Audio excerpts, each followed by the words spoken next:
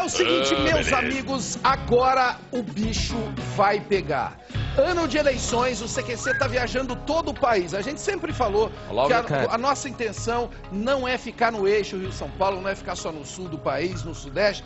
Nós vamos viajar todo o país neste ano de eleição.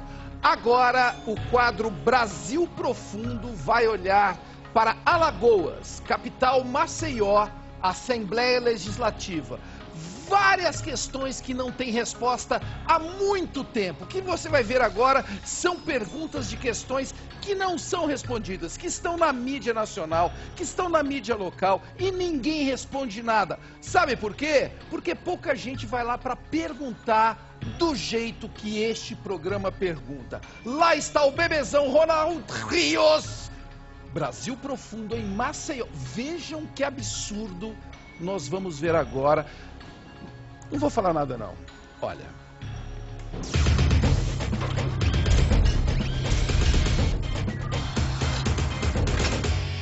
O CQC está de volta a Alagoas, o estado do Nordeste com maior índice de analfabetismo, pobreza e violência. Mas com os políticos pra lá despertos. Apesar de tantos problemas, a Assembleia de Alagoas foi palco de um escândalo 300 milhões de reais da folha de pagamento dos funcionários foram desviados e 5 milhões de reais destinados à construção de uma biblioteca e de uma escola legislativa simplesmente sumiram.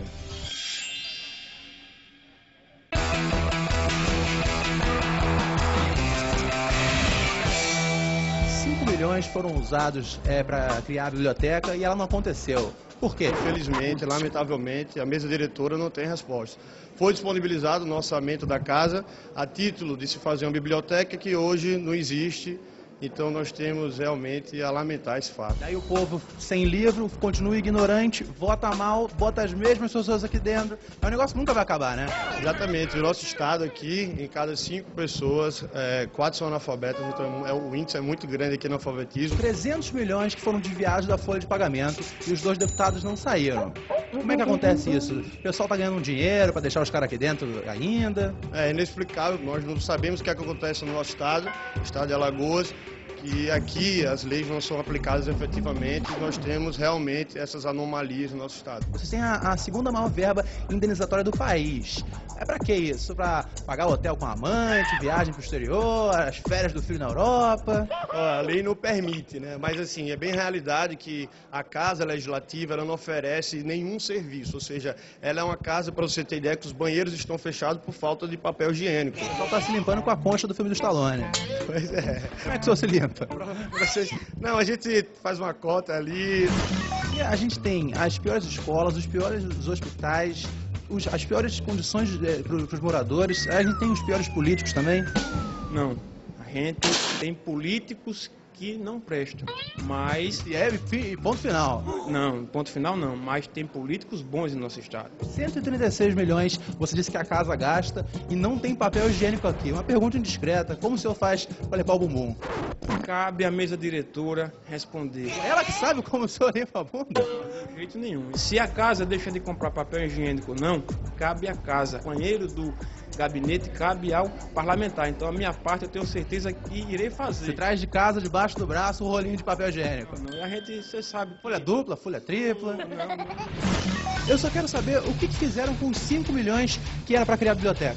Rapaz, eu não sei dizer. Quem pode informar vocês melhor é a mesa, que é que ela que é responsável por administrar essa parte dos recursos. Lá na frente tem uma placa escrito biblioteca, mas não tem um livro dentro. Com 5 milhões vocês não conseguiram comprar um livrinho. Mas aí é como eu lhe falei, quem deve responder melhor a vocês é a, a mesa a diretora, que Ela nunca sabe de nada, né? Não, eu não sei lhe informar isso, realmente eu não sei. A biblioteca não foi aberta, porque ia ter que ter livro de ética, que o pessoal não tem muita ética. É preciso procurar a direção da casa, né? Eu infelizmente não posso dar essa informação. E pra onde foi o dinheiro que era pra abrir a escola, a biblioteca? Não sei, procura a direção da casa aí. Deputado, você que é da mesa diretora, aonde foi parar o dinheiro da biblioteca, da escola legislativa? Nunca foi gasto nenhum centavo.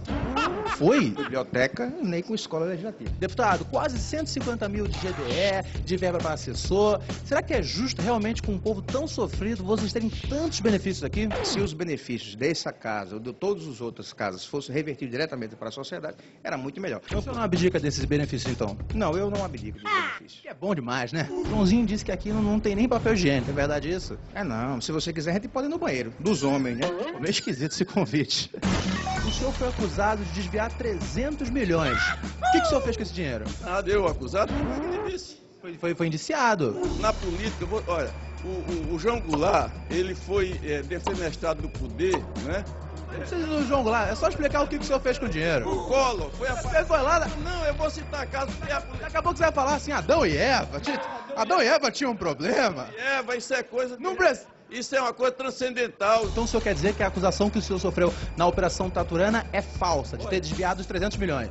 Acusação. Advogado- Eu posso lhe acusar de que você roubou 200 milhões lá da sua empresa, e daí? O senhor diz que para ganhar a eleição não precisa ficar dando beijo na careca de bebê. Você fa- Não, não, isso é pra vocês lá. Que... faz o que então? Pega a verba de gabinete para comprar voto? Não, nem verba de gabinete, mas aqui a gente, a gente ajuda as pessoas. E aqui no Nordeste se compra voto. O senhor já comprou voto? E já comprei voto.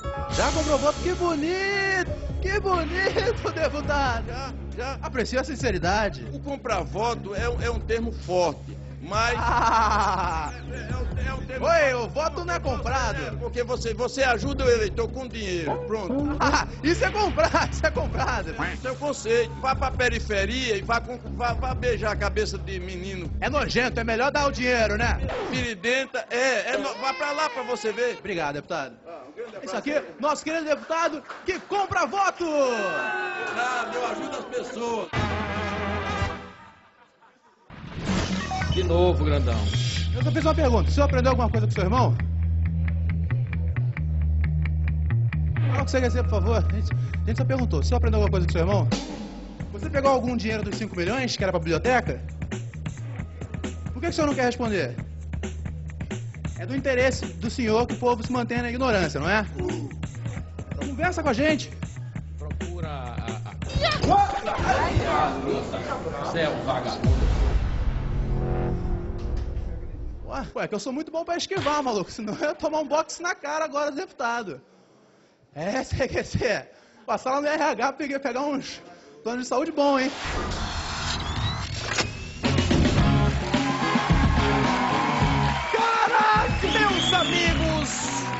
Deste país varonil. Que coisa assustadora, né? nojenta. Porque tem político que precisa de câmera escondida pra pegar ele no pulo. Aqui os caras falam na câmera mesmo, eu compro voto. Eu compro não, eu ajudo com um pouquinho de dinheiro. Nossa, Que coisa melhor do que beijar carequinha e tal. né? Não, aliás, eu tenho que esclarecer a vocês, a pergunta era sobre o irmão do ilustre Olavo Calheiros, este senhor que desferiu um soco no nosso repórter, porque é irmão do nosso ilustre senador Renan Calheiros, que é muito fofo com o CQC. Não sei por que, que o irmão dele ficou tão nervoso. cara Será falou- que ele tem alguma coisa Pergunta pra esconder? pra. e É, ele, uma- ele deu uma de traíra, trairagem. Agora, deputado Temóteo Correia, Vossa Excelência que diz que compra votos, vai ter que se explicar ao Ministério Público Eleitoral de Alagoas, que já está atrás do senhor, para alguns esclarecimentos, que não ficou muito claro Mas eu ali. o entendo ele disse. falar que é, é melhor dar dinheiro do que beijar careca, porque vai, vai ver qual careca que ele se refere pra beijar, né? Não, e falou mal dos carecas, inclusive. Eu fiquei um pouco irritado com isso. Não podemos esquecer todo o Brasil. Aliás, olha, a gente ama o pessoal é, de Alagoas, a gente recebe muitos e-mails de vocês. Eu queria agradecer hoje, recebemos vários com cobertura da mídia local. Não é o problema, não é de Alagoas, evidentemente, é das pessoas que foram eleitas. E como um deputado falou ali, tem deputados bons em todos os lugares. É nosso papel fiscalizar e eleger gente bacana. É só lembrar o seguinte: gastaram 5 milhões e não tem nenhum livro na biblioteca. Cadê os livros? Eu pergunto. Cadê o dinheiro? Cadê? Hã? Cadê o Cadê? dinheiro? O- eu acho que eles usaram os livros pra limpar o. ah, o exaustor de feijoada Eles deles não lá. estão conseguindo nem dar conta Porque do seu próprio possível, cocô. né? Pois é, então, inclusive deve ter sobrado, eu ouvi dizer que sobrou só um dicionário Aurélio, mas que o, o Ronald usou Já esse susto aí pra limpar, porque Nós vamos Se borrou, acompanhar essa história, evidentemente.